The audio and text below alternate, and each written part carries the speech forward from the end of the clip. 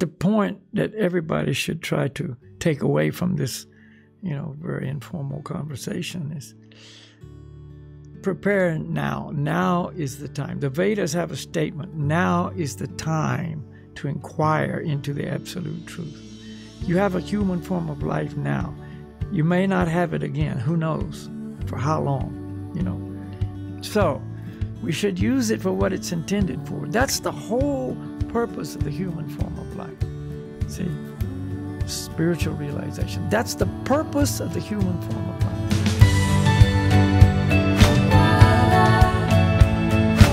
Hi, and welcome to the Breaking Trail podcast, where you learn to navigate life's journey through ancient wisdom. This is Ruben, and in today's talk, me and Balakhilya speak about the meaning of death, if there is such a thing as surviving death, and also about Balakhilya's experiences with his parents leaving this world. So uh, I'd strongly encourage you to uh, listen with an open mind and buckle up and get ready for some truth. Yes, 70% of people have never had a conversation about death, and uh, but 60 percent of the people think that there should be such a conversation. Um, yeah, so that's staggering. That's that's to me that's like amazing. but again, at the same time, I'm not surprised. Why, why is that? why, why is it that we fear so much to talk about this topic? Well, because denial is a very, very common method to make it so you don't have to think deeply you don't have to consider things that you can't tangibly prove or touch or feel. And also, when you talk about God, now you're opening up a whole concept of religion. And in many people's mind, religion is a bad thing. It's restrictive, it's oppressive, you know, and, and they'll use all kinds of historical events to prove that religion is bad, whether it's the, you know, crusades led by the Christians, you know, long, long ago, or, you know, they look at countries where there's obvious uh, domination or, or the presence of religion in society, like the Middle East, you know, with their uh, belief in Islam. And they see all kinds of conflict there you know, one country, Muslim country, fighting another Muslim country, you know, because one is one branch of Islam and another is another branch of Islam. One is Sunnis, one Shiites, one what. A, in other words, they use that as a justification. You know, show me the good that religion has done when I can show you many examples of where it's been a negative rather than a positive you know. And I also will will look at where religion is a part of a person or people's lives. There's a lot of judgmental attitudes toward other religions or people who aren't, you know, in the same camp or on the same team as they are, you know, and there's always associated with religion in people's minds a lot of fear you know, because people are doing what their religion tells they should do because they're afraid not to. Because if they don't act correctly, they're going to suffer big time. You know, maybe they'll suffer from ostra- uh, ostracism, you know, ostracism or criticism yeah. now, you know, are seen as, as lower or outcast or whatever. But the big fear is after death, then they're going to meet hell. You know, they're going to meet some real big, you know, painful term, turmoil, uh, tor- torture, whatever, you know, burning. And so there's a lot of fear involved, you know. There's one place in America where I, I visit, you know, when I'm in America. I, I either visit there or I drive through there. And there's big billboards on the side of the road put up by some uh, religious people. They said, when you die, are you going to go to heaven or hell? You know? And, you know, people see that kind of stuff and they just go, I don't want anything to do with this subject because, you know, it's just not comfortable for me. There's no part of this whole thing that's comfortable. And people like to be comfortable. So if they just deny the whole thing, let's don't talk about that, see? Then, you know, there's a certain level of comfort there. And what they say, never talk about religion or politics. Because either one of those subjects will lead to, you know, you know, quarrels or debates or arguments or whatever. So let's just don't go there, you know. Let's just avoid that whole un- unpleasant experience. So you you prefer to be uh, you're saying basically that our fear for religion is is greater than our fear of death because that's a choice we have, right? We we can either, you know. Yeah, and they can't. Nobody. Let's say like this. One of their main, you know, arguments is you can't prove any of the things you're telling me. You're quoting me something from a book, whether it's the Bible or Quran or Bhagavad Gita or whatever. But I don't know that that's true, and you don't either. You know, you just believe on faith. So how do I even know after, you know, I leave this body, or they don't even know that, this after I die, that there's anything, you know? Who says there's anything? Who can prove it? So better to just don't even think about it, don't talk about it, live your life to the fullest, enjoy now while we can, and then when we die, we die and that's and whatever happens. Whatever happens. happens, and you know, a lot of people think, well, that's it, it's over, and other people think, well, I'll deal with that when I get to it. You know, I'm not going to spend my whole life in anxiety now, worrying about that. And you know, also a lot of the pro- people who are promoting religions are fanatics. You know, and so when you you meet a fanatic you know, it's not a comfortable experience either. And they're pushing you to join their team or read their books or, you know, they're promising you, you know, hell and damnation if you don't, or they're just not, they're not, not comfortable people to be around. So again, they just rather just say, well, don't even talk about that stuff. So 70% of the people, whatever you said, they just don't have those conversations. Mm-hmm. And then also the teachings of religion, you know, as as they see it, will restrict them in their enjoying life. You know, oh, you can't drink, you can't smoke, you can't have illicit sex, you can't do this, you can't do that. This is bad, that's sinful, and so on and society today more than before is based on those activities of pleasure. And people have, you know, invested their whole life in experiencing those pleasures. And therefore, if, if they have to be told that, well, you can't do that, or you shouldn't do that, or if you do that, you're going to suffer, you know, in other words, hedonism is not allowed then again, don't talk to me about that stuff. I don't want to hear that. So, from many, many angles, it's uncomfortable for people to be confronted with religions and their teachings. And, and that's funny because you have lived, uh, for those who maybe not know you, you've lived a yoga lifestyle for more than 50 years now, and you're own YouTube channel is called Happy Man. so you,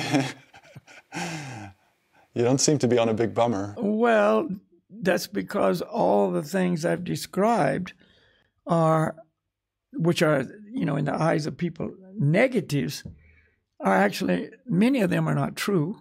Many of the beliefs they have aren't really correct, you know, or they've been told things that aren't correct.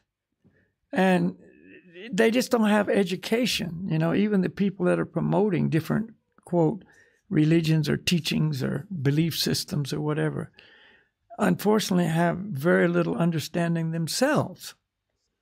And so, therefore, you know, without knowledge in any category, you can't get the the fullest benefit from the from that category or subject or whatever it is.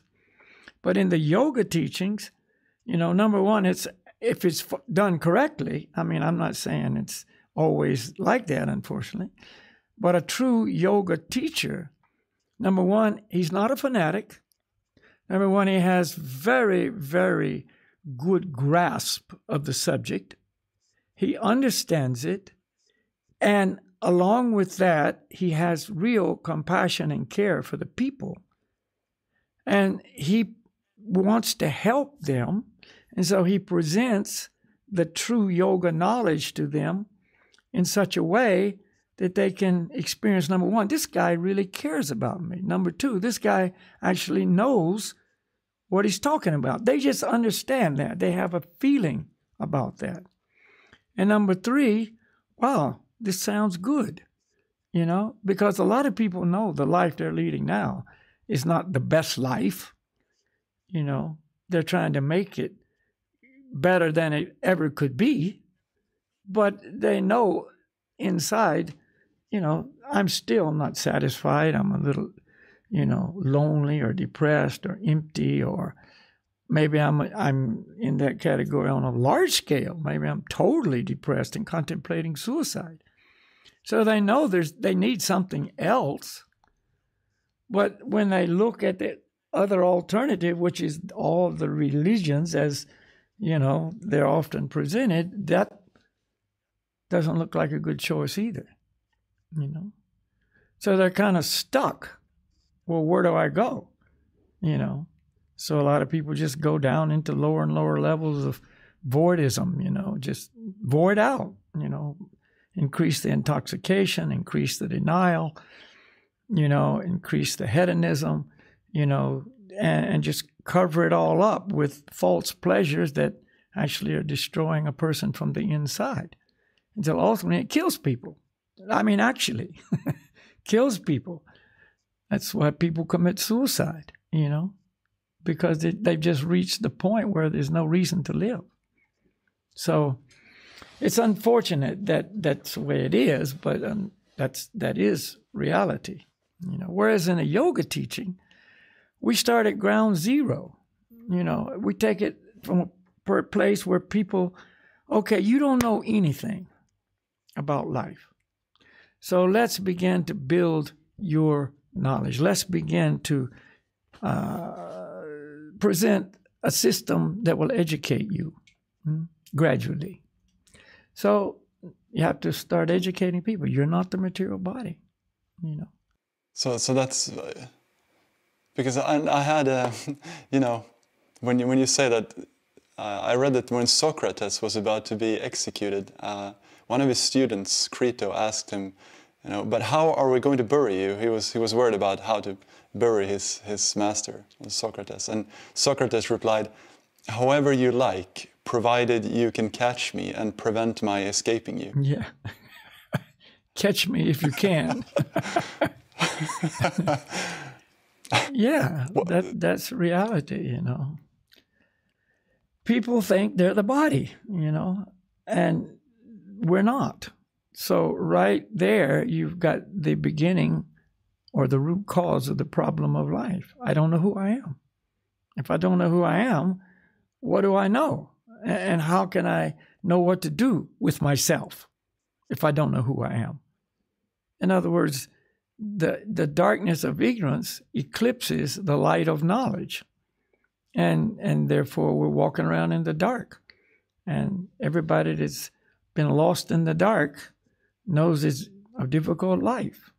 You know, you bump into things, you trip over things, you go the wrong way, you make the wrong decisions you know, fear is in darkness because you can't see what's going on.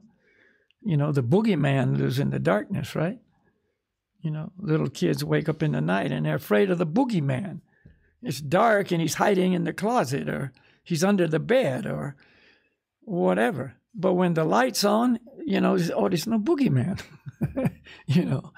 So this is this is unfortunate, but on a, a psychological scale, you know, when we're in the darkness of ignorance, you know, life is very fearsome, very difficult, uh, very, you know, unknown, and on and on it goes, you know. And to live like that is not normal. So again, in the Vedic teaching, which is the, the root of the yoga teaching, uh, it's clearly presented that we're not our material body. We're in a whole different category of energy. See, everything is energy, and there's a lot of, you know, interest in energy right now. You know, has been for, you know, since the '60s. You know, feel the energy. You know, let's let's feel the vibes, man. Like it's it's stuff going on here. You know, but everything is energy. You know, there's a different energy in a dead tree than a live tree you know, or a dead human and a live human. You can feel there's there's a missing something here. There's there's some energy missing. You know, so the two categories of energy are material energy and spiritual energy. And our bodies are material energy. You know, and basically we uh, we learn we have two bodies, believe it or not. We've got the physical body, but we also have a mental body you know, and that's called the psychic body, or, you know, in esoteric circles, it's known as the astral body. And that's where all the drama really takes place.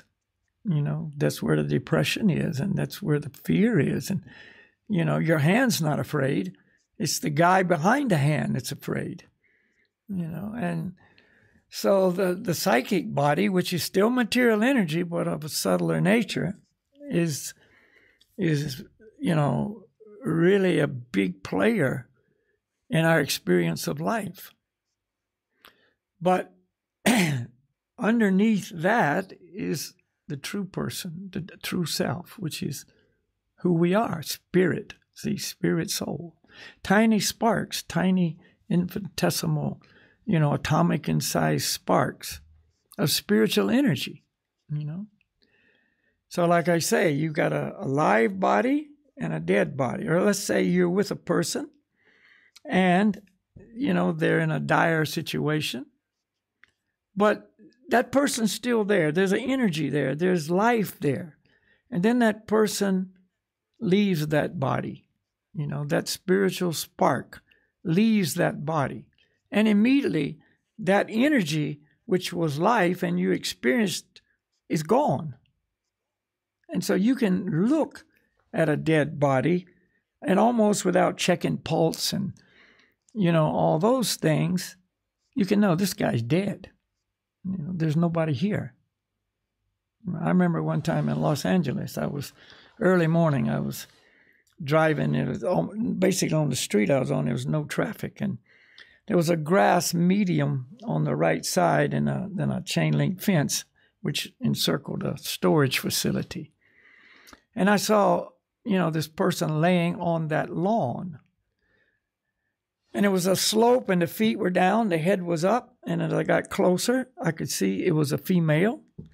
And, you know, then I could, blonde hair, you know, kind of disarrayed and just laying there. And I got out and went over, and I knew right away this, this woman's dead, you know. And it wasn't like she was mutilated, blood all over anything. I just looked at her and I went, she's dead you know, and she was. Somebody had killed her. You know, close examination showed there was a little wound in her chest. Somebody stabbed her or whatever. I don't know. And uh, and she wasn't there. So she was attractive, physically speaking, but it wasn't attractive. There was no attraction there. Her clothes were a little disarrayed. Her breasts were a little revealed, but there was no attraction there because it was a dead body. You know, so there's a whole different energy between spiritual energy and material energy, you know.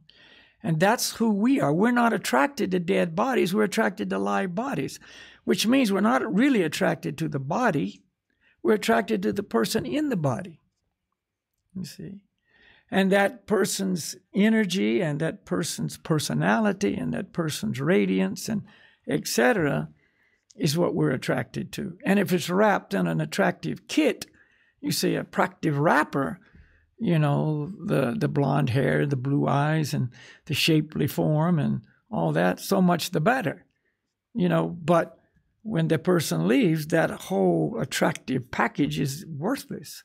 you know, it's just nobody there, so why bother? And that's why they, the most beautiful people in the world, they bury them right away. You know, they don't keep them around. You know? Get rid of them. Yeah, you know.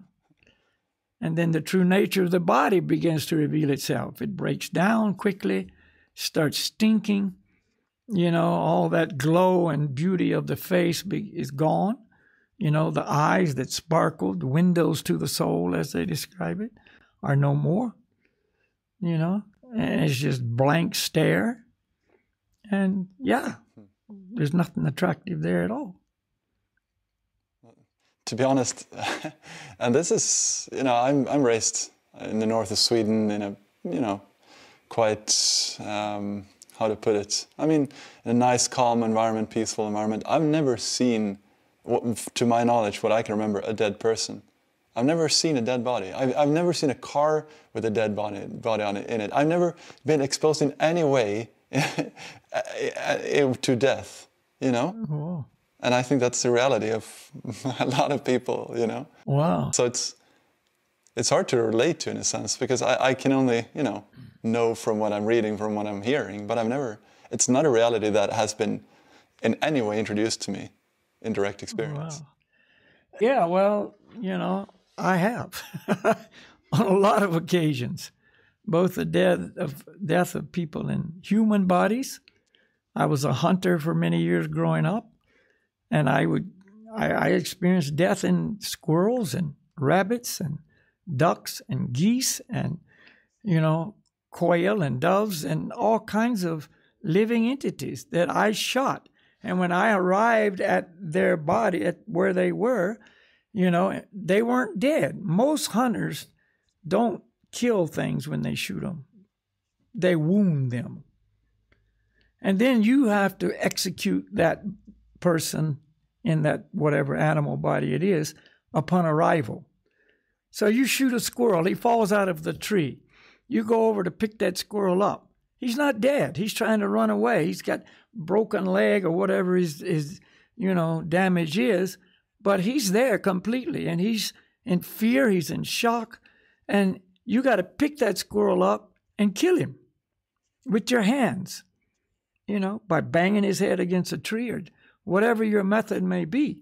You see, and you see the moment that person in that squirrel body leaves. You're looking at that squirrel's eyes, and all of a sudden, there's nobody home. You know? Then you know, okay, now I can put him in my coat and continue to hunt. You see, I mean, it sounds really gruesome, and it is. But again, when you're in a certain consciousness, it doesn't even faze you. You know, your heart is so hard, and your, you know, your mercy and compassion is zero you know, and it's just a squirrel. It's nobody. It's not a person. You know, and you go home and take that squirrel and take his clothes off, skin him, and cut him up and put him in the pot and eat him. And you think, well, you don't think, you don't think anything. It's just what you do. You know, that's how hard hearted it can be. You know, and people have this special deal about humans, but humans, yeah, it's a, it's a highly evolved, you know, form of life. But, you know, all these lower forms of life suffer too. You know, the cows that people slaughter by the millions every day, they're suffering greatly, you know, and people just enjoy their bodies. Oh, a good burger.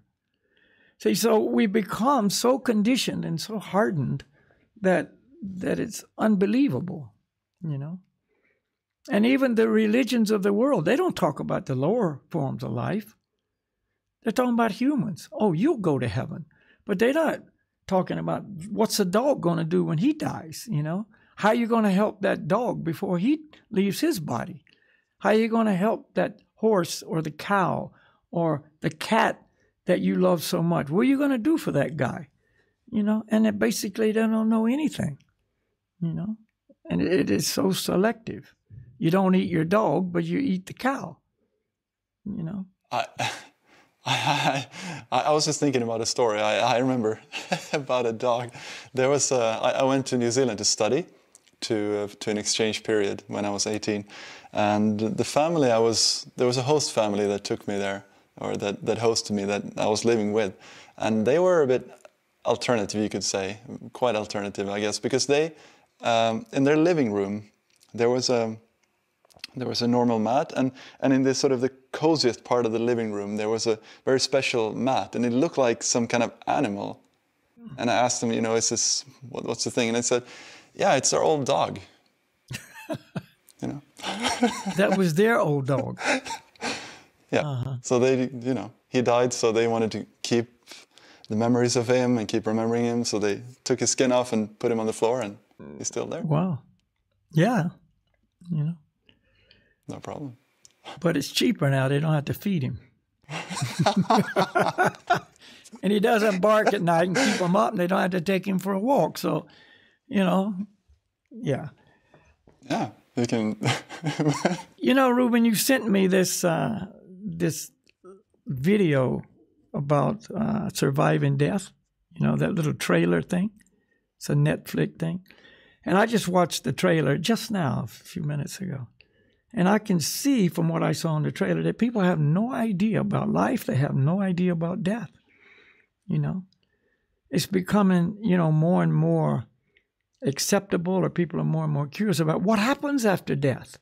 You know, where do you go? Or, you know, is there really life after death? Uh, oh, I saw him. He spoke to me like a loved one died, and they saw this person again you know, and, and he was in the room and or communicating with them in some way in a dream or whatever. And and it's just like, but what? I don't know. You know, I have these experiences, even out of body experiences. You know, when mm. people, you know, usually under severe stress or trauma or whatever, leave their body often on an operating table or in the ICU unit in the hospital. And they're out of their body you know, and they're looking back at the doctors and nurses trying to bring them back to life. You know, all the, you know, the uh, monitors are flatlined and so on, and and they just watch this, you know, from the top of the room or wherever. And then it, they usually almost always come back into the body due to attachment and, you know, feeling of obligation to kids or whatever. And so they come back to life, so to speak. You know? And so now they've had a profound experience, you know, but they don't know what to do with that experience. You know, okay, so I left my body, I was still me. Now I'm back in my body. I know I'm not this body, but now what? You know, where to go from here? And unfortunately, there's so little authorized knowledge and information about this that it just winds up a bunch of speculation.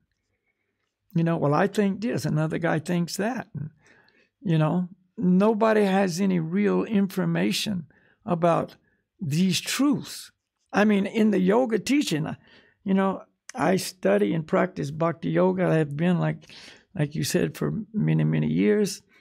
I have my spiritual teachers who are, you know, expert in all subjects of life, and they have taught me. I've also, of course, you know, as many people have, had my personal experiences. And so you take a personal experience, or if you don't have it, it it's not critical, it doesn't matter. But if you have, you take that, combine it with, you know, this ancient eternal knowledge, and things start making sense. Oh, yeah, right. You know, now I understand. See, and so this is this is what we need. We need more real information about this subject that everybody has to deal with. And, and for those who don't know, this Surviving Death is a new documentary. It was just released uh, in the beginning of January this year, a six-part series, and uh, yeah, well, one of the things they said, there's a lady who had who had such a near-death experience, uh, Balakhilya, and she's she. They say she felt her spirit peel away from her body and travel up to brilliantly colorful, colorful, flowery heaven where time and space shifted. Is that what death is like? Well, you know, death is different for every individual, you know. And not everybody experiences that. And she didn't really go to the spiritual world.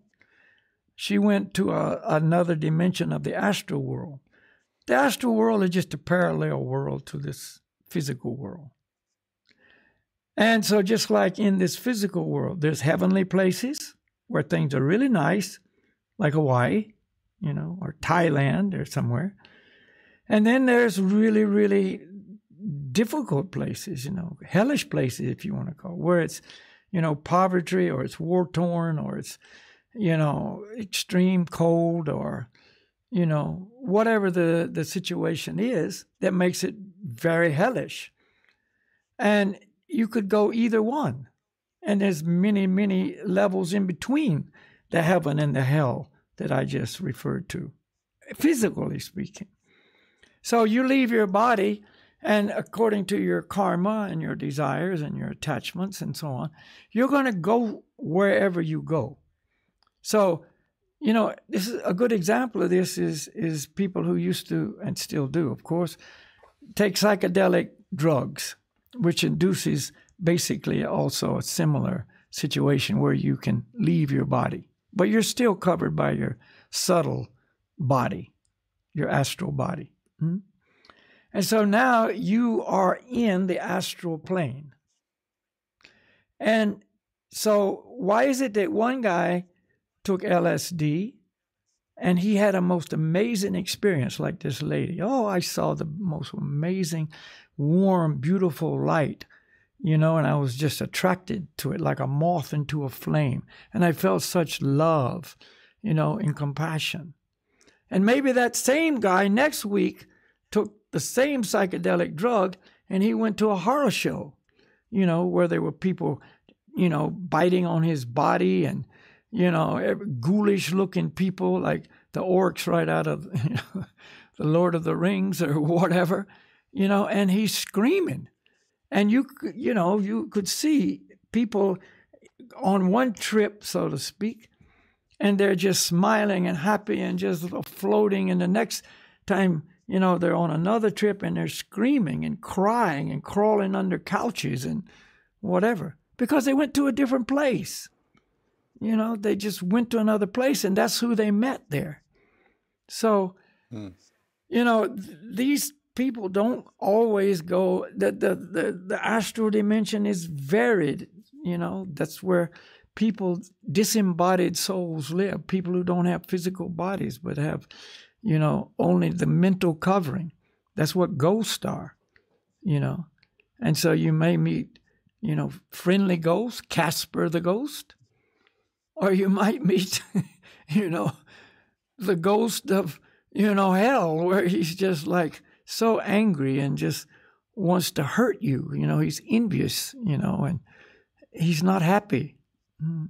And so all of this is just an, another understanding of where a person can go after death.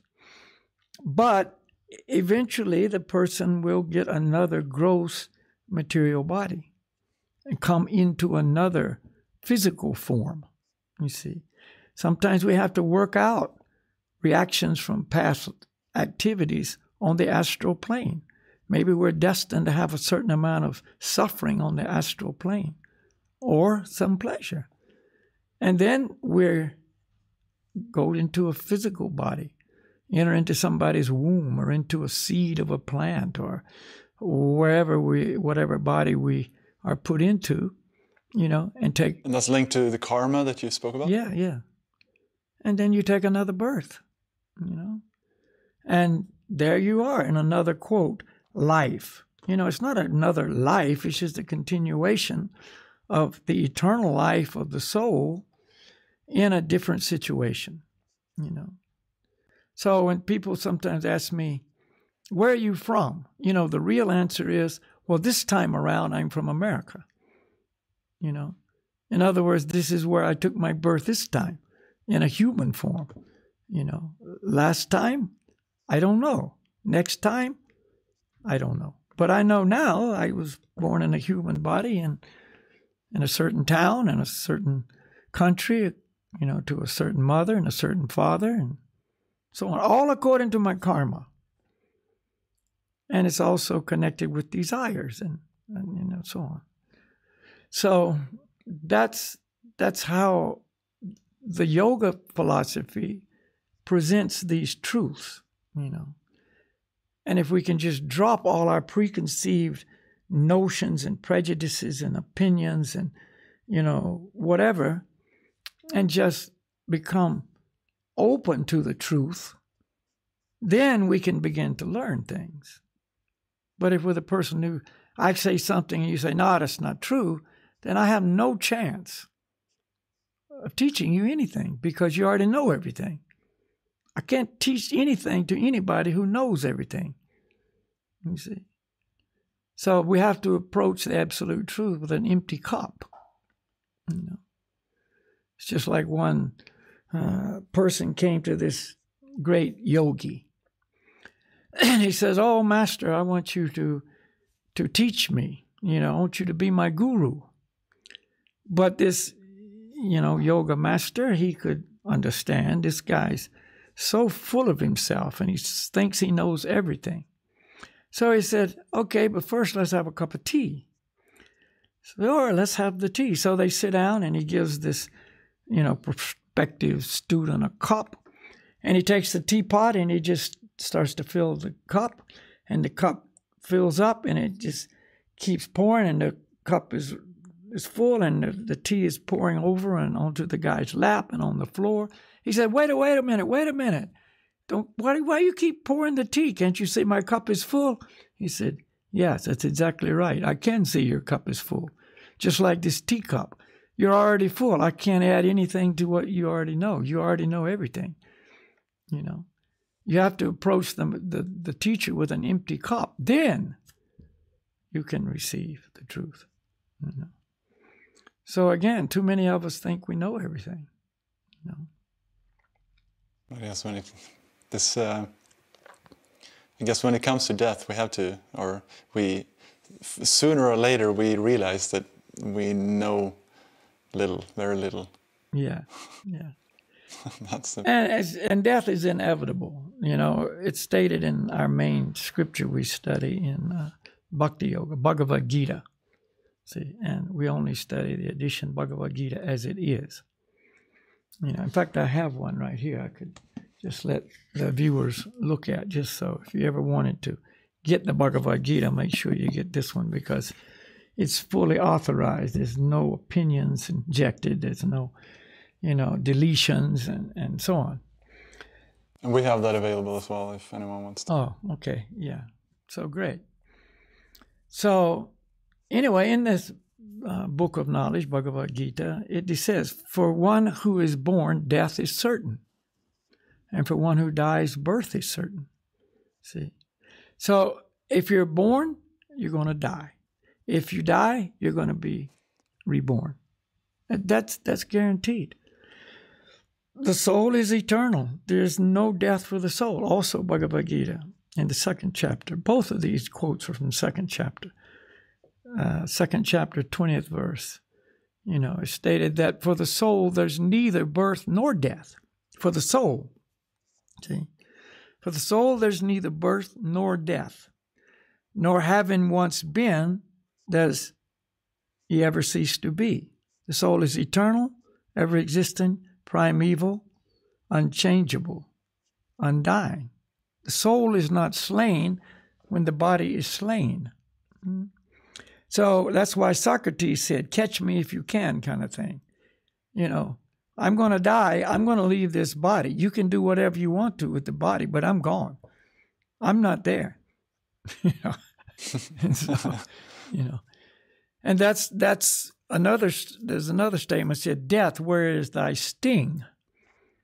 You know, that's a famous saying. From the from the Bible. Yeah, because the sting of death is when the loved ones, you know, have lost the one they love, so they're stung by the loss of their loved ones.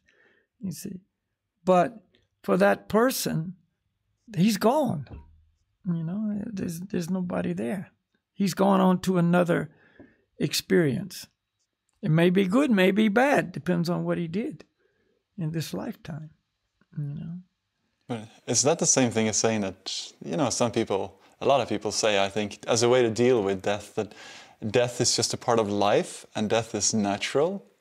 Yeah, but they don't have any idea what they're saying. They're just saying something. What do you mean death is a part of life? You, you, if you quiz these people, most of them will come up short in the answer. You know, what is part of life? See, life is eternal. Do they know that? Maybe, maybe not. You know, but you know, death is just when the soul leaves one body. You know, and birth is when the soul enters another body. For the soul, there's neither birth nor death. See, he's just changing clothes. And again, that's another statement from Bhagavad Gita. You see, that that you know, as the person you know takes off old and useless clothes, putting on new ones. In the same way, the soul takes off old and useless clothes, the material body, and puts on a new one. You know, so the the body is and both bodies actually are like clothes. You take off an old, worn out pair of clothes and you put on a new pair. Same with the body, you know. And it, the bodies do get old and they do die. you know, they get worn out. You know, and people start feeling like that when they get elderly. You know, I'm just worn out. You know, but they're not worn out. The body's worn out. Mm-hmm. So, hmm. so the. Uh, the inevitable is. So in the yoga teaching, after you know emphasizing all these truths, okay, you're not the body, you're not the mind, you know, the body's gonna die, but you're not gonna die, etc., etc. See, instilling all those absolute facts, then the emphasis must shift. Okay, what should I do now in this life, which I am in now, this present situation, in my body, and now we're talking about a soul in a human body. What should I be doing now to prepare for this inevitable event?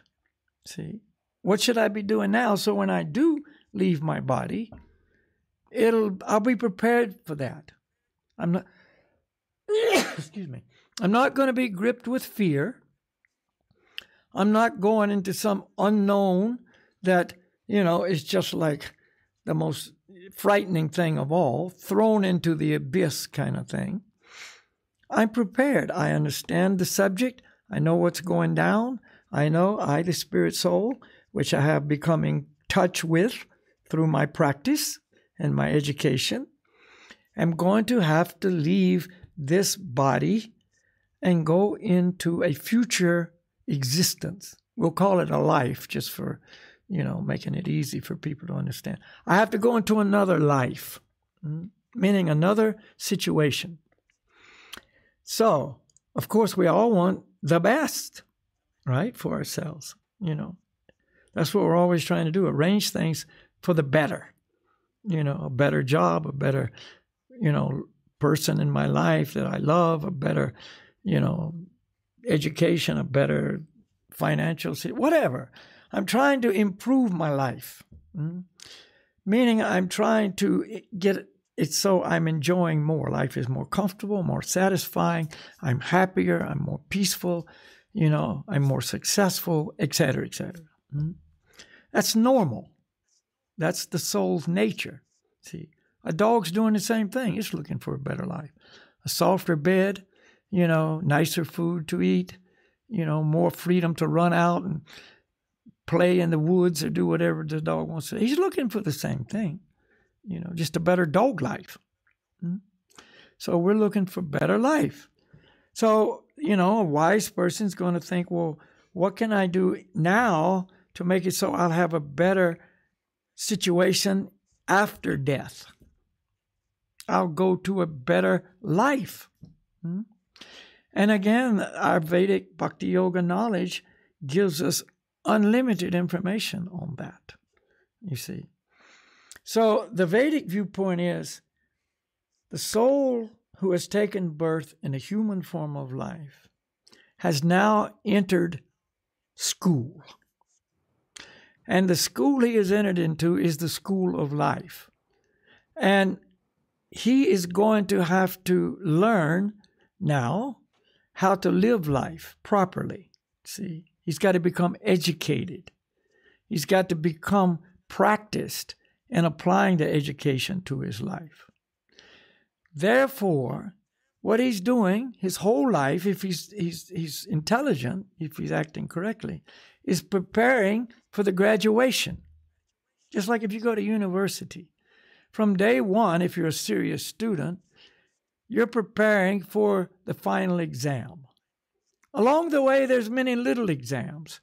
There's exams for the physics course, and there's exams for, you know, the comparative anatomy course or the math or whatever you're taking, you know, your engineering or your IT course, whatever. There's little exams along the way, but the final exam is the big one. And there is where it's determined are you going to graduate, get a degree, or are you going to fail? And you've got to go back and repeat the course. You see? So the the death of the body is that final exam. Are we prepared for that exam? Now, you've been to university and so have I. And in any given course or the final exam, either one, if you have studied regularly, consistently, sincerely, throughout the term. When it's time for the exam, you're ready for it. It's not like the last night or the two nights before the exam, you got to learn, you know, six months or a year of the course, cramming it in, trying to memorize and memorize and staying up late and drinking coffee. And, you know, you, when you get to the exam, you're so beat up, you can't even take it, you know. No, it's not like that. You're ready for it. But if you haven't done that, you partied, you had a good time, you know, every weekend you went out and just enjoyed yourself. The nights when you should have been studying, you were with your girlfriend or you were with the guys at the bar or whatever. And then the final exam comes. You're in panic. You're in panic mode, but hey, it's too late, man. You can't do it. It's too late, you see. So you're in fear. You go in there, you can't even think straight, you know, and, and you got this gut feeling that, you know, I screwed up, whatever. But you can't rewind it. Now's the day. You got to take the exam. So when we approach death, that's the final exam. If you've prepared along the way, you know, you're ready for it. You understand the subject, you know, and yeah, you just enter into that moment and go through it, and you come out the other side, and you're now going to have a very nice result because you're prepared, you see. And if you're prepared really well under the guidance of a true spiritual master, you don't have to take another material birth ever. See?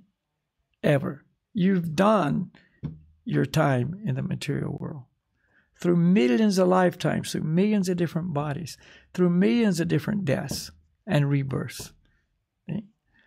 Now you finish with that because you're a good student. You prepared really, really well, you know. And what did you prepare? You prepared your relationship with the Supreme Lord. You worked on that. You cultivated that. You actually made that your focal point in life. You began to cooperate with the desires of the Lord. You've developed a real relationship. And therefore, that love, that relationship, that attachment, you know, has become your life. That's your new life. That's your consciousness. That's your heart. You see?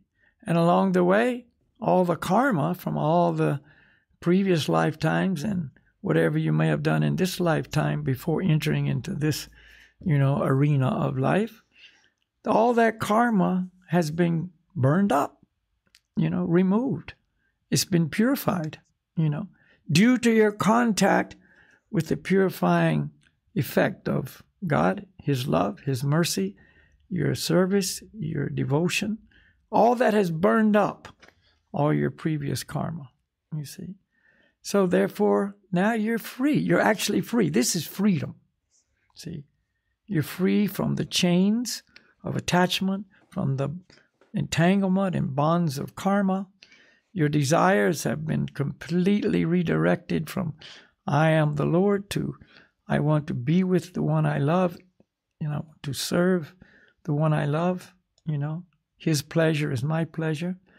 All that is the nature of the soul. That's the real nature of the soul. You become not a different person, but a new person, consciously speaking, a new consciousness. You've developed a whole nother dimension of consciousness. And that qualifies you to go back to the spiritual world, which is our real home, you see. And there you are again in your real condition of life. All these births and deaths in the material world through unlimited lifetimes. It's, it's, since, it's described as since time immemorable we've been here because nobody can trace it back, you see. And, you know, all that you've already done it and you've learned what should have been learned. You cultivated what should have been cultivated. Your consciousness is now purified. Your heart is purified. And yeah, now you're a candidate. Not a candidate, you're actually uh, a qualified person to be a resident of the spiritual world. That's graduation on the highest level. That's real graduation. You see, and that's where the real happiness is. That's where the real bliss is. All the things we were always looking for here, that's where it is. Why do we look for these things? Because it's natural for the soul. But where is it to be found? In that loving relationship with the Lord and in His abode. See? And that's what we're missing by all this denial of religion and denial of God and denial of our true identity and denial of anything spiritual. That's what we're, we're going to miss completely because that hedonistic, materialistic philosophy is a guarantee that we will not achieve this goal. We will not graduate. We will fail again and again and again and again and again and suffer birth, disease, old age, and death repeatedly. that's that's scary. It's not scary. It's not scary. It's stupid. There's a difference. Why is it scary? Because it's only scary if we're determined to follow that route. You see? There's an alternative. It's scary if we don't take the other path. See? That's where the fear is that we're going to not take the path that will lead to true happiness and true satisfaction. You know, this philosophy is not scary, it's the choice we make that's scary. You see, that's where the fear is. But what are we afraid of? We should examine what am I afraid of? See, why am I afraid to enter into this path of light? Why am I more comfortable on the path of darkness than even contemplating the path of light? Why?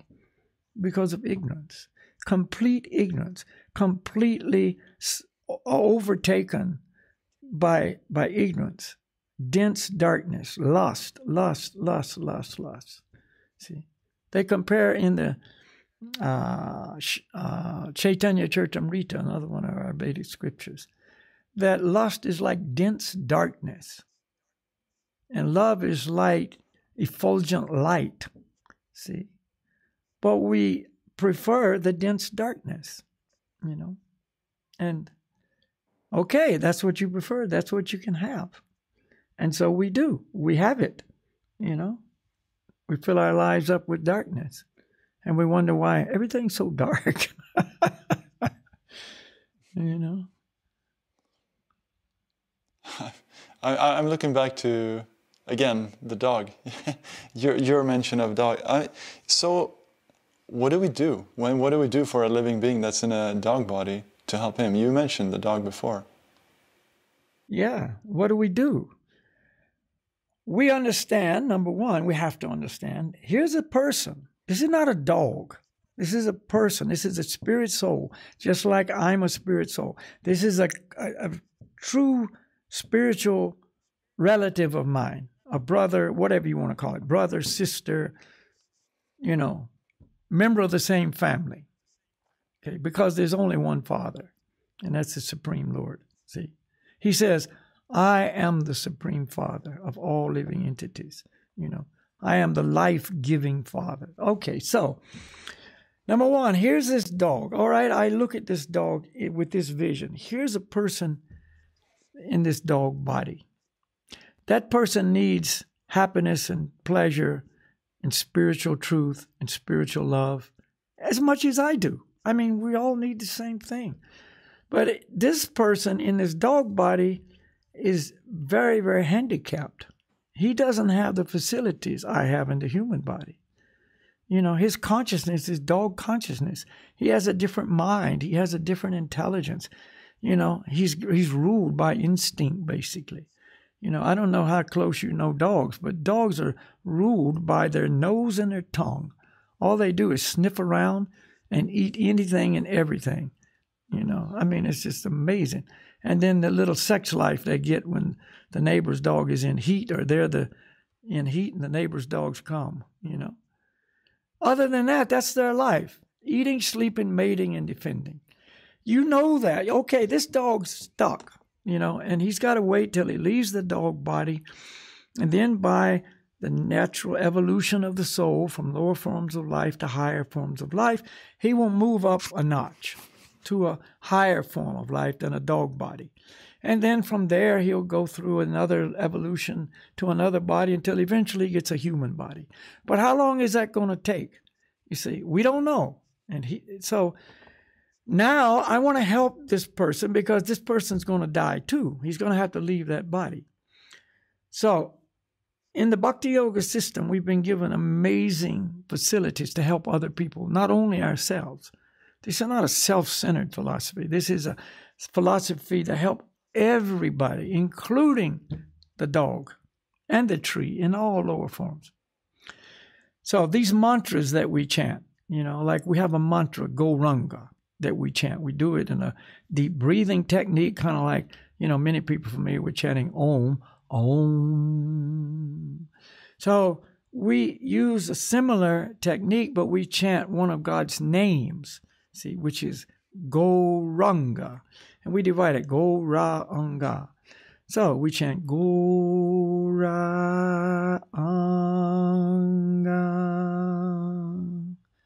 Slowly, gently, breathing deeply, meditating on the sound. When we're inhaling, we chant the mantra in the mind, etc. Okay? And that brings me in contact with transcendental sound, spiritual sound, non different than the Lord Himself. This purifies me, the spirit soul. Okay? I take that same truth and make it so the dog hears the mantra. Gauranga, Haribol. See? I say these transcendental sounds to the dog. The dog receives it through the dog ears and it goes into the dog mind, but it goes further down into the dog's heart. What's in the dog's heart? The person, the spirit soul. What else is in the dog's heart?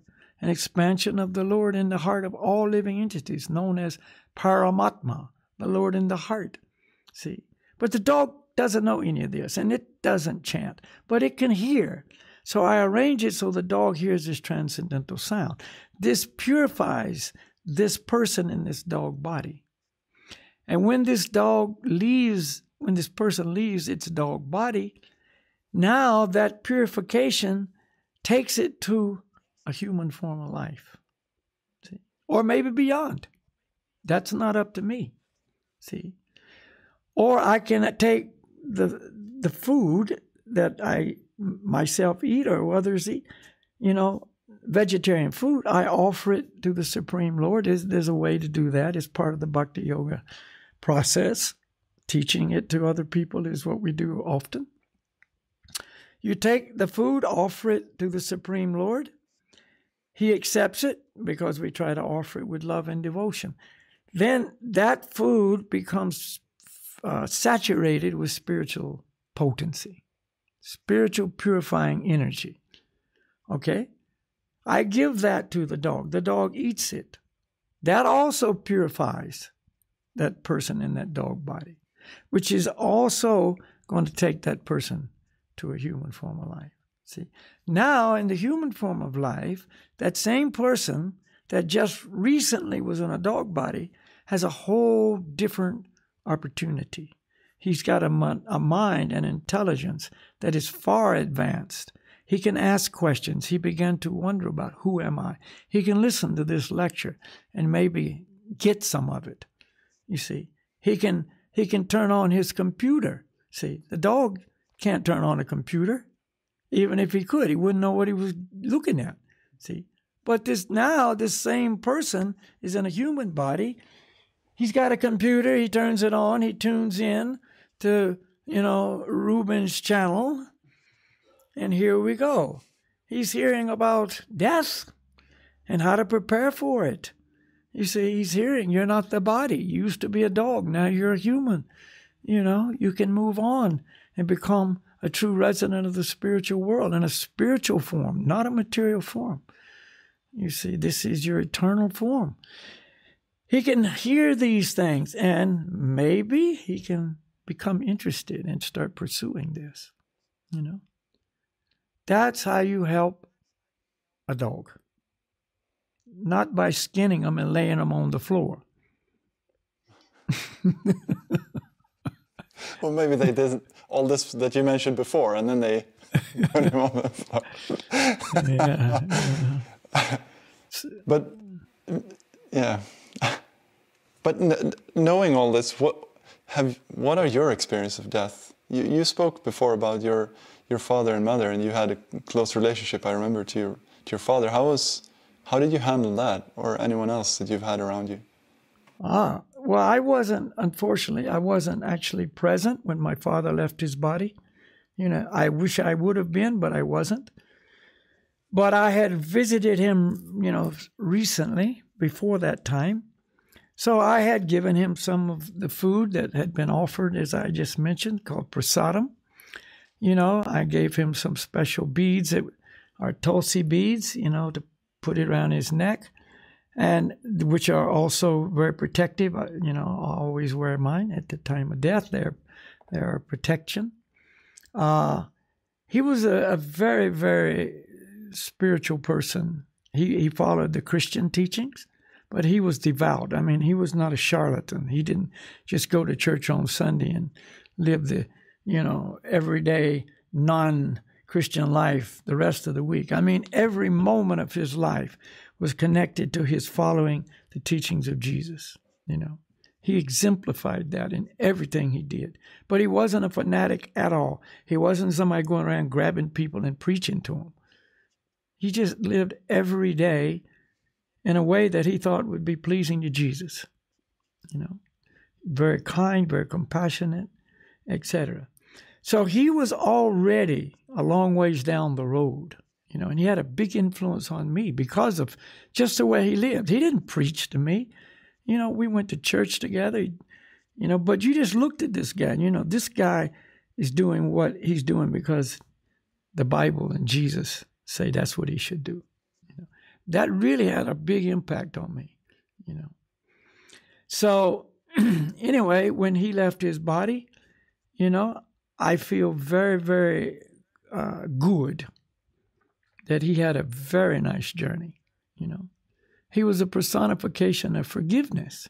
You know, which is, you know, the essence of love. Love for God is the essence, and the essence of love is forgiveness. And the last thing he said before he left his body, I'm so I hope I didn't hurt anybody in this lifetime. I hope I didn't cause anybody any pain and difficulty. And if I did, I am so, so sorry. Please forgive me. You know, that was his last words. You know, this is where he was at. So he had a nice he had a nice transition. You know, I don't know where he went, but I'm telling you, it was, you know, a good place. Mm-hmm. And then my mom, I was with my mom, and you know, she wasn't as dedicated or devoted as my father was, but she also had strong religious beliefs, ties. And so, you know, I was able to, to be with her, and my sister was there too, also a strong follower of the teachings of Christianity. But we harmonized on helping my mom leave her body, my sister and I, you know. So again, the, the, the special beads for her to wear around the neck, you know, some holy water, uh, you know, different different elements, let's say, that you can use to to actually help this situation. And so I was playing the the mantra chanting, you know, for days before she left her body, you know, like a week or two weeks before, you know, 24 hours a day. And uh, so that was also, you know, of great benefit. She was had a stroke. She was, you know, very far removed from the external world to a large degree, but she could hear and she could relate. And then uh, at the moment she left her body, I was chanting mantras in her ear. The mantras were playing. My sister was reading, you know, the Lord's Prayer from the Bible, you know, and she was on her way you know. And she looked like an angel. I mean, she was 92 years old, and you know, very few 92 year old people look beautiful, physically speaking, you know. But somehow, in that transition from the time she was in her body till the time she left her body, she looked like a young maiden. You know, don't ask me any details how it works. I don't know. But all I know is when, if I'd have walked in the room and looked out, I'd say, Where's my mom? What happened to mom? Who is this? You know? And the nurses were coming in and they were saying, Wow, so beautiful. You know, she was so had such a look of peace and and just contentment on her face. You know, it was it was just amazing. You know, her hair completely changed. Everything changed. You know, so yeah, that's how I was, and I was so happy. You know, it was an internal happiness that, that is just you can't describe it. It's just a, a joy, a spiritual joy about death. There was no tears. It was like absolute joy. And my sister was the same. She was just like, wow, you know. So there you go. Two quote religions. You know, my yoga teachings, my sister's Christian teachings, my mom, you know, her Christian base, but all coming together in union there was no Christianity. There was no yoga, this yoga. It was all about love for God. You know, that's the harmonizer. That's where we should all meet. That's the common ground. Forget all these sectarian beliefs. You know, that's the problem. You know, no arguing about this is the right way, that's the right way. Don't do this, we must do that. No, just come together, give the Lord as much as you can, ask the Lord to please protect this dear soul, and wow, amazing. See? That's harmony. And so everybody felt good. The nurses felt good. And there was another lady in that same room. There was a petition that divided, divided her. It was in a hospital. Between my mom and this other elderly lady, there was a petition. And and I walked out after, you know, some time and went through her part of the room. And I said, Oh, my mom just died. And she said, Yeah, I know. I heard. It was beautiful. So, you know, death is not scary if you know what you're doing. If you don't know what you're doing, it's the most horrific thing of all. But they still leave you, though. You, you, it still hurts when you can't talk to them. You can't be with your father anymore, no? Well, it depends on how attached you were. You know, there's attachments and there's love. There's two different things here. It's not the same. Many people are emotionally attached, sentimentally attached to another person. You see, and that's what they miss. They miss that person in their life, and of course, you miss them. But on if you're on a higher spiritual relationship, they're not gone. They're still with you. You know, because in the spiritual world, there's not, you know, coming and going. You're with that person. So these spiritual relationships are eternal. So I can talk about my mother right now in a different way than many people can talk about their deceased mother or father, you know, because she's not gone. And I feel so good that she's in a better place spiritually, you know, that, you know, maybe she's at home. I don't know. There's a good chance of it, but I'm not, I'm not God. I can't, you know, say that. But I know one thing, she's, she was well taken care of. That I know. You know, so what is there to miss? What, you'd rather have them here suffering old age and death, you know, rather than have them. Eh, if you love somebody, you want them in the best situation. You know, if you're selfish and attached sentimentally, you want them here with me. Be with me. You know. So it depends on your relationship. You know, what are you missing? The pleasure that they gave you? Who's the who's the enjoyer here?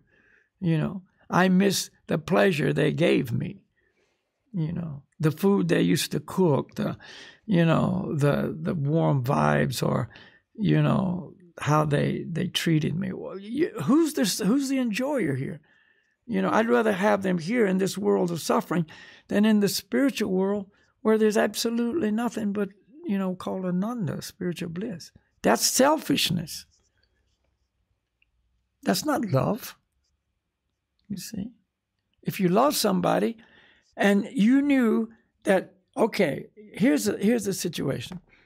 You love somebody, and a, and a true lover of God loves everybody. He doesn't just love mom and dad and sister and brother and wife and children.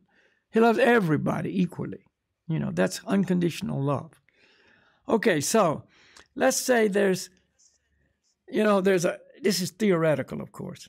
There's a time when you're going to die and someone beside you die. And there's an airplane coming to take you to heaven. And you already have a reservation. There's only one seat left, everything else is occupied. And there's only one seat, but that's your seat. You got the ticket, you got the reservation. And here's the person beside you that has no reservation. If you really love that person, if you were on that true platform, you'd give that guy your ticket. Here, you get on the plane, you go. You know. That's that's how you should understand real love. It's not about me. It's about okay, this person, you know, I want you to go. That's what we're talking about. I remember that was this was one of the first times I was in the United States. I think I met you there. We were out uh, doing some hiking, and I remember we spoke about this. This was maybe five years ago. I, I felt that because what I heard was liberation is a goal. To get out of this miserable existence is a goal. And I wasn't satisfied with that. I didn't feel like that was, or I came to realize that there must be something more. So I remember I was asking you, well, is that it? How about everyone else? All right, screw them. I'm going to go. you know, yeah. That. yeah. No, it's about everybody else goes and then I'll take what I get, you know. I'll take the next plane if somebody's uh, got room for me. yeah. yeah. So. Wow. So yeah, it's a it's a big subject, you know. But the point that everybody should try to take away from this, you know, very informal conversation is prepare now. Now is the time. The Vedas have a statement. Now is the time to inquire into the absolute truth. You have a human form of life now. You may not have it again. Who knows for how long? You know, there's no guarantee you're going to get another human form. That's another illusion that everybody that's a human, next birth, they're going to be another human. You know, but who said that? the wishful thinkers, the people who have no real understanding. Most people don't get another human form. They go down again into some lower form of life and then have to cycle through many, many, you know, lifetimes of birth, death, old age, and disease to eventually, somewhere, get another human birth, you see. And then who knows what we'll do with that one. But now we have it. So we should use it for what it's intended for. That's the whole purpose of the human form of life. See? Spiritual realization. That's the purpose of the human form of life. It is not to enjoy the world. If you want to enjoy the world, the human body is the worst one. The worst one to enjoy the world. Look at the dog.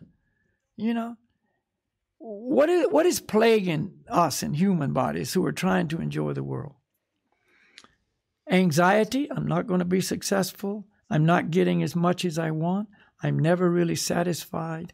Oh, I'm getting old. I can't enjoy as much as I used to. Oh, I want somebody to love me. I want this one, but they don't love me. I'm always in anxiety that if I found somebody, they're going to leave me. I'm not as attractive as I used to be.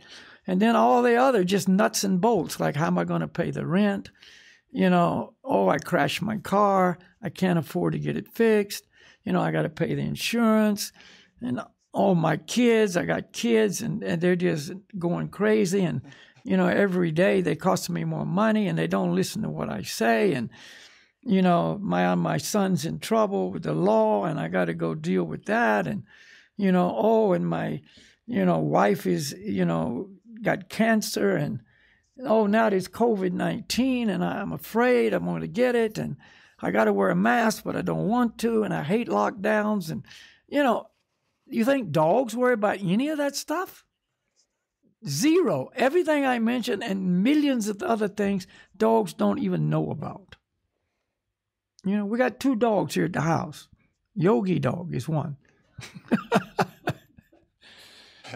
and Yogi Dog's daughter, Grumpy. Grumpy's, you know, indicative of her mood. She's a little bit grumpy.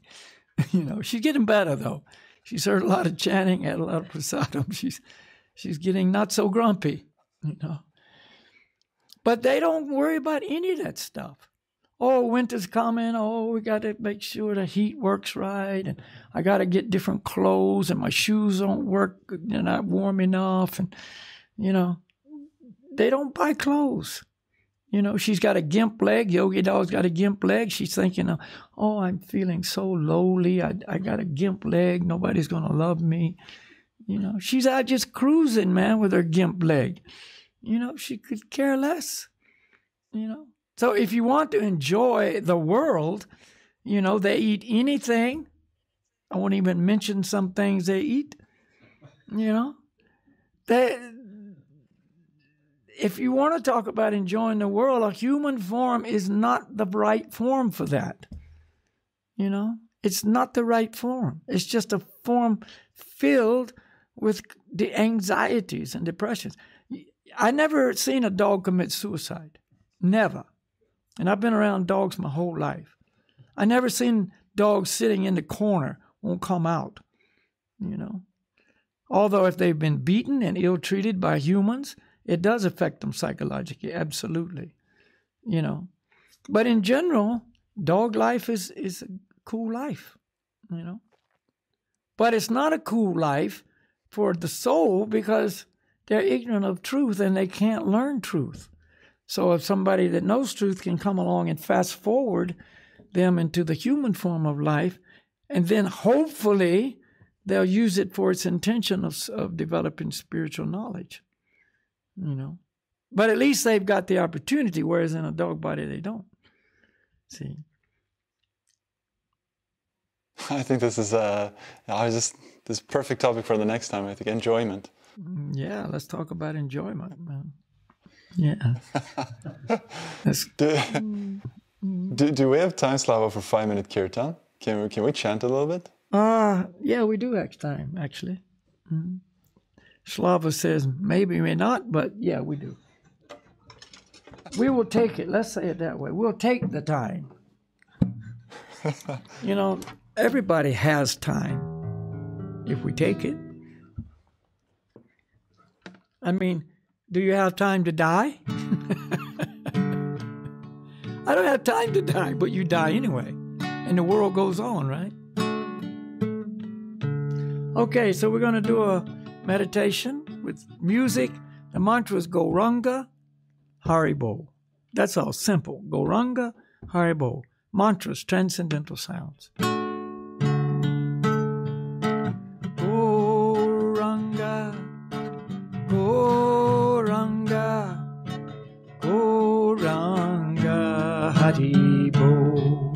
Everybody.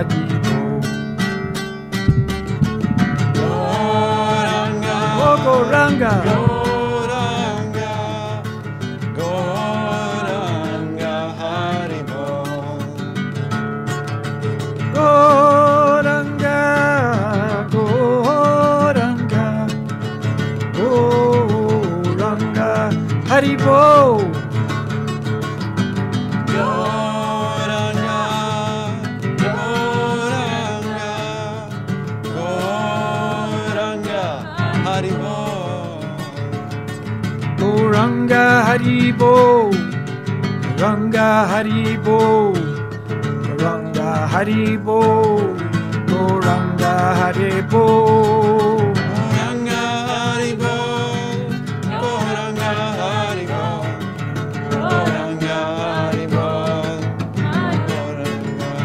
One more time, oh, Gauranga.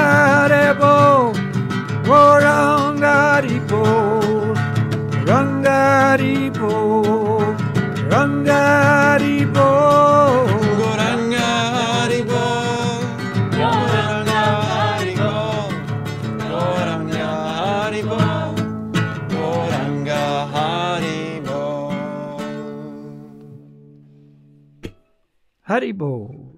Haribol. Okay, so that is a meditation we call Sankirtan. So if Yogi Dog was listening, she got some purification. like a dog. Yeah, man. That's how you do it. Hmm. Yeah, so you know, if you know the truth, if you if you prepare for death, then death has no sting. You know. Death, where is your sting? You're not stung with fear. You're not stung with anxiety. You're not stung with, you know, you know, panic. Really, you know, you just transition. You go into it. It's just another part of life. You're ready for it, and so there you go. No sting. Death has no sting for the wise. Thank you, Balakhilya. Okay, Ruben, that's all I got time for. I got to, to get on to another program. Busy schedule. Yeah, yeah, but it's great. You know, you know. Busy is good when busy is what you want to do. Yeah, the, the soul is always active. So if we're active, you know, in the way we should be active, then life is a joy. Happy man. Thank you. Okay, so we'll see you next time for what you say pleasure. Is that what you said? Well, I said enjoyment, but I we'll see if it's going to be that or we have something about Buddhism as well that we might want to cover. We'll, we'll oh see. yeah, we got to. Yeah, yeah. Somebody asked us about that. Yeah, that's a good one too, because you know we need to to know all different aspects of you know things that are coming up in life, you know. So this is a this is a good one. Yeah, we'll do that one next, and then we can do the other ones later. We got many. We got. We got time. You know, we got time till we don't. So let's keep going. yeah. Thank you, yeah. All right. Oh. All the best to all the folks there. Namaste. So that's all we had for today thank you so much for joining and do share this link to the this episode to anyone you think would benefit from that. If you have any questions, do join the Facebook group. Uh, our private Facebook group link is in the episode description. And to get email updates, we encourage you to go to breakingtrail.life, where our website where you can sign up for the email lists and get updates on upcoming upcoming episodes. See you soon again. Stay true to yourself and dare to break trail.